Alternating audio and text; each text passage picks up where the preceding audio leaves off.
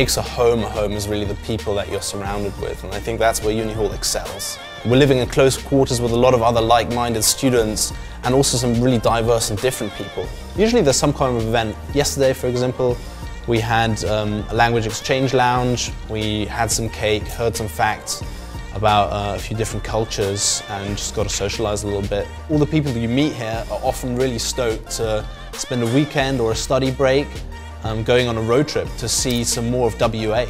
The Uni Hall community really allows you to easily engage with so many different people um, that you just feel like you're surrounded by a sort of family.